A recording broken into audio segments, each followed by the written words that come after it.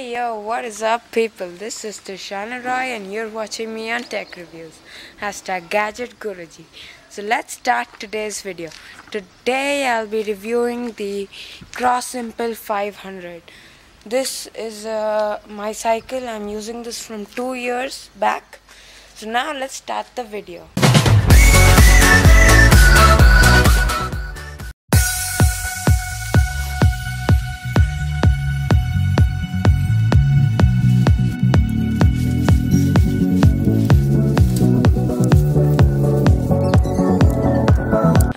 And you can see this is my Kross Impel 500 this is the overlook of it. It's really really stylish and it goes super fast.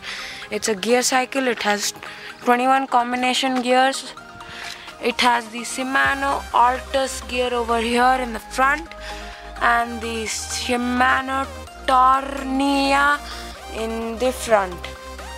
In the front there are three gears and in the back there are seven you can change that according to yourself. As you can see the tires are a little bit worn out and these are the disc brakes. It's not hydraulic it's the mechanical disc brakes. Over here are the pedals. The pedals have really really sharp grips which I love. They I bought the stand. The stand is mine so they don't include a stand.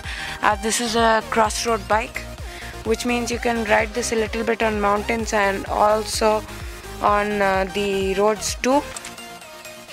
So yeah. And now we come to the suspensions. The suspensions as you can see it's really cool. Uh, the suspensions can be locked also. So yeah you just have to lift the cycle and then just lock it. So as you can see when I'm pressing it it's not going in but uh, now it will go in. See it's going in a little uh, as I can't press hard and over here you can see over here this thing can turn and uh, you can adjust this according to your weight. Uh, yeah that's all. And over here there are the gear changing things. This is for going high and this is for going low. You have to press this and the brakes are really really soft. I loved it. And over here there is a quick release there and uh, yeah the tires are solid and uh, uh, this is the front brake and over here you can see there are seven gears. This is the low one.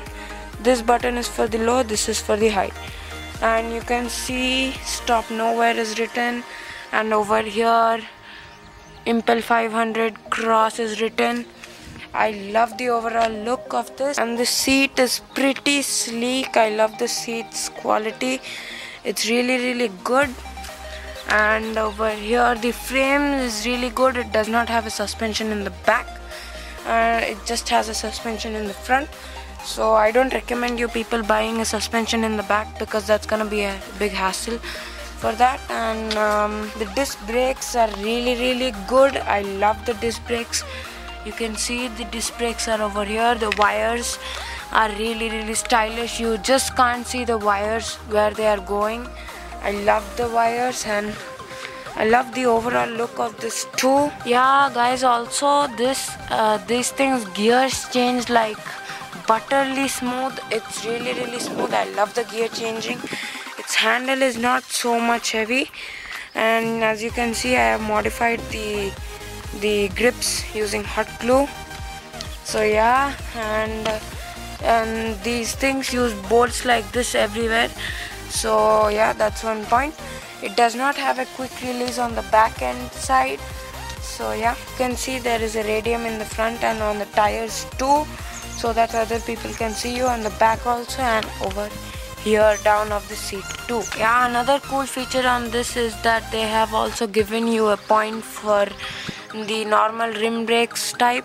So yeah you can see there are uh, there is the normal rim brake type 2 and over here too they have given on the front also they have given for normal uh, rim brakes. So yeah and the rim and the tire is awesomely steady. I loved it. This cycle and normal cyclists can easily buy it. Its uh, link. I'll give it in the description below. And its cost is 21000 rupees so yeah it's it's not too much costly all the Btwin cycles are more costlier than this. So yeah guys, I hope you liked the review. If you did like it, please do subscribe, share, like and comment on the video. So yeah, that's all for today. I'll see you in the next video. Till then, bye.